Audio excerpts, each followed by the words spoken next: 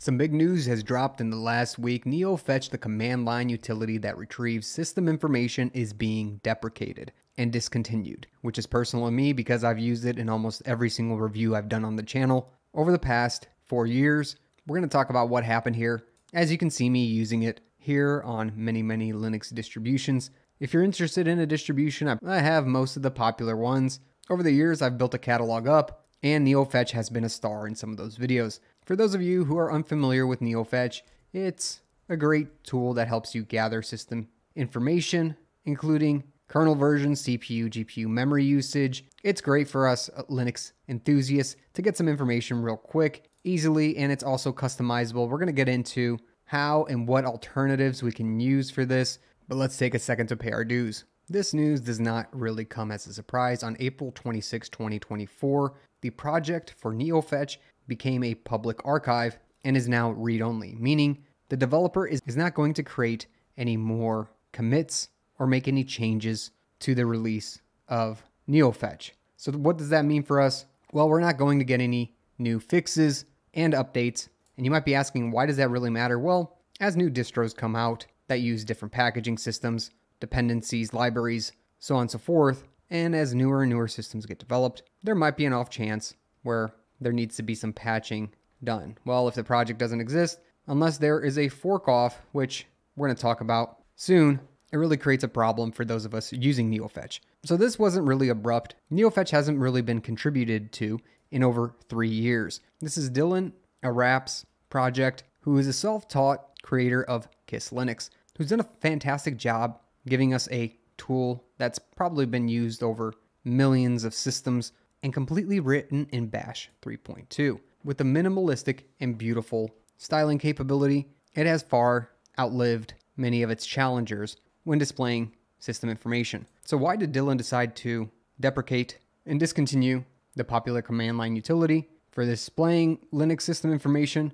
Well, it says right here, Dylan has taken up farming, which is quite interesting. Whether or not they actually took up farming, I think this is just a way to say they're done programming. Who knows if it's farming some cryptocurrency or actually outside touching grass. Regardless, they will be missed. I think some thanks in the chat would be great for all the work Dylan has done for us in previous years, including making pywal, which is an awesome utility that a lot of people have used to generate color schemes on the fly. But they've done a lot of great work for the Linux community, not only NeoFetch, pywal, but also pfetch.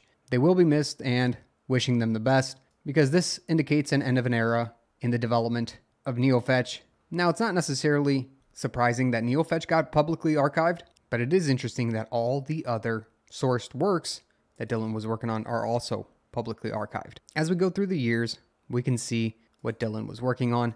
The only contributions made for this year are the 17 contributions to publicly archive their packages. In 2023, there was really only one contribution on June 8th. 2022, really nothing. 2021, a ton of contributions, mainly in July. 2020, an incredible amount. 2019, again, incredible, and so on and so forth through the years. With almost a decade of programming, I'm wishing Dylan the best for his contributions to Linux and the open source community. I want to talk about some alternatives. Let's go check out something else, the NeoFetch. Now, even though I have nostalgia and a sentiment using NeoFetch, just because it was one of the first tools that I used over a decade ago. After installing Linux for the first time, there are various different alternatives. So if we want an alternative, I'm going to suggest ScreenFetch because, well, it's very similar, but it's also available in the source repositories of Ubuntu and the likes. So you can do sudo apt install ScreenFetch and then just press enter. And after it's installed, very simply just run ScreenFetch. Now it actually takes a moment to spit things out, but here we go. Looks very, very similar has very similar capabilities. And why did I choose ScreenFetch over another alternative, for example, like FastFetch, which is a C-based, really performant version that's very similar to NeoFetch? Well, that's because we don't necessarily have source repos for this, so you can't install it directly from the terminal without adding a PPA. As you can tell here, we'd have to add Zangsong's CUI 3371 for FastFetch. Now, it is available on some other distributions. If you got Arch Linux, I suggest FastFetch, Fedora, Gentoo, Alpine, NixOS, OpenSUSE, and Alt Linux. This is a great port itself. If you go down to the bottom, you will see the packaging and repositories that it does belong to. Check it out. I'll put a link in the description below. And what's something interesting is a lot of people are going to FastFetch. How can you tell? Well, here's what it the star ratings were in 2022 and 23. In 2024, the star ratings here at the beginning of the year were right at 1,900 stars. And after this news broke, you can see this exponential curve go up yeah, right about here. And now we're close to around 3,800 to 4K stars. So you can definitely tell people are making the fast switch over to, to FastFetch.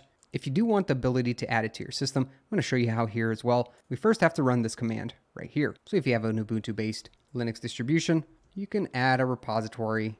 According this, it's ppa colon zhang song chewy 3371 and that's fast fetch. Of course, I misspelt repository, added an extra S here. Anyways, once you have that fixed, you can press enter to continue.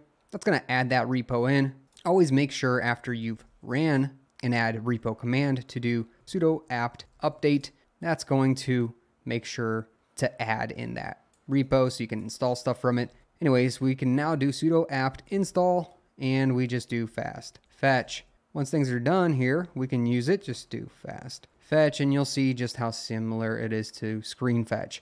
Again, this is the one I will suggest using if you're capable and willing to try installing it. It's really optimized to be fast and has a bunch of the features that NeoFetch had, not just displaying system information, but making sure it was done in a, in a pretty way with awesome configuration. Let me show you what I mean. If you weren't familiar with the fact that you can configure NeoFetch, you can. There's a breakdown of customizing information, including the terminal image that is displayed. So for example, if you hit customizing information, you can see all the various things you could have customized, including printing your own information, changing colors out, removing information that you saw unnecessary, rearranging it, and even come up with more complex info. Now, what was also awesome was you could change the images inside the background on the left hand side, including using an image backend. As you can tell here, depending on what you wanted to display it in, there was ASCII characters, CASA, catimg, iTerm2, JP2A, PixTerm, Sixel, TyCat, W3M, OFF, and so on and so forth. And if you really want to get creative, you can even do a waifu crop. What is that? Well, you can take your wallpaper of your favorite waifu and crop or fit it directly into your terminal. That way you can see it every single time you run NeoFetch, whether or not that is directly with the start of a terminal. Anyways, I'm running it one last time because in the future, I'll more than likely move on from NeoFetch. Dylan, thanks for all your hard work. Good luck on the farming and I'll catch you all on in a different video. Thanks for watching. Linux can be hard to understand, but I take the most commonly used terms, commands, and subjects in Linux and I break them down into simple to read documents, including Linux terms, flashcards, a checklist, a cheat sheet, and a mind map. And if you're ready to level up your Linux experience and knowledge, go to learn.savvynik.com now and get access to these sheets.